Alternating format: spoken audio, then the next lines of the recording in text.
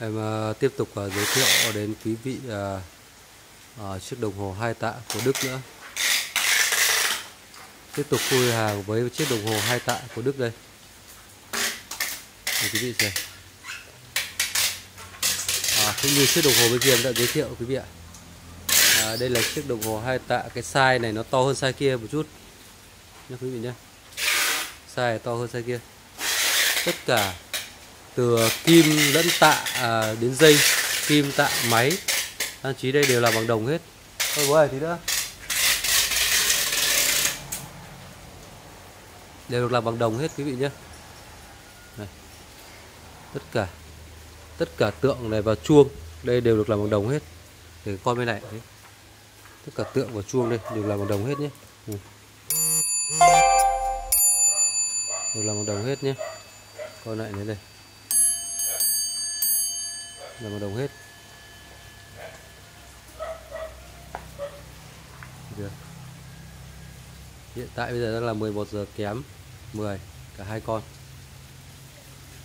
À, đây là những chiếc đồng hồ cổ à, được à, trang trí rất ớt mắt. Đây là những, những cái vết nó hơi mốc quý vị nhìn đâu nó cũng chả mốc mấy. Những cái vết này à, xử lý rất là đơn giản quý vị à, nào muốn dùng cái đồ muốn dùng cái đồ cổ của mình thì muốn nó sáng nó đẹp hơn ấy, bóng hơn ấy, thì quý vị về là dùng cái dầu rửa bát ấy. Pha loãng dấp một lượt bàn chải à, kem đánh răng ấy. Lấy bàn chải kem đánh răng dấp một lượt thật mỏng dầu. Quý vị trà trà đều đây trà đâu quý vị lau khô đấy em.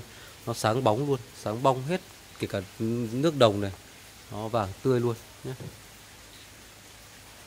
à, chiếc đồng hồ cái chiếc đồng hồ bên này lúc trước em đã báo giá giá của em nó là 8 triệu 9 quý vị nhé à, ờ, chiếc này size to hơn to hơn lớn hơn. À, giá của nó là 9 triệu rưỡi đồng hồ là 9 triệu rưỡi. Mọi hoạt động vẫn bình thường quý vị nhé tất cả. À, cũng như là cái clip trước em hướng dẫn bên kia ấy.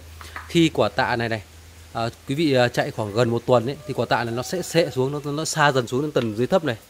Thì quý vị phải dùng cái dây này kéo quả tạ lên. Cái quả tạ này mục đích nó là gì? Quả tạ này mục đích là nó lên cót nó lên cót hàng ngày để cho đồng hồ nó chạy. Nó như kiểu cái duy trì cái đồng hồ của mình à, mình à, vặn lên cót ấy. Thì quả tạ này nó tương xứng với một cái lực để kéo cót xuống. Nên là khi quả tạ này rơi xuống thật sâu dưới đất, nó có nghĩa là nó nó xạ dần xuống. Trong thời gian chạy, nó nhả cót ra, nó kéo cót xuống ấy nó sẽ xuống. Thì khi hơn một tuần hoặc hai tuần thì quý vị phải dùng dây này kéo quả tạ lên trên cao. Cứ tầm khoảng độ một đến hai tuần là quý vị phải lên cót. Có nghĩa là lên cót là phải kéo quả tạ lên. Đấy thì chính chính thế nên nó gọi là đồng hồ tạ. Nó chạy à, bằng à, động cơ có nghĩa là dùng hai quả tạ này kéo lực nặng để cho lên cót cho đồng hồ. À, chiếc đồng hồ bên này giá của nó là 9 triệu rưỡi quý vị nhé 9 triệu rưỡi.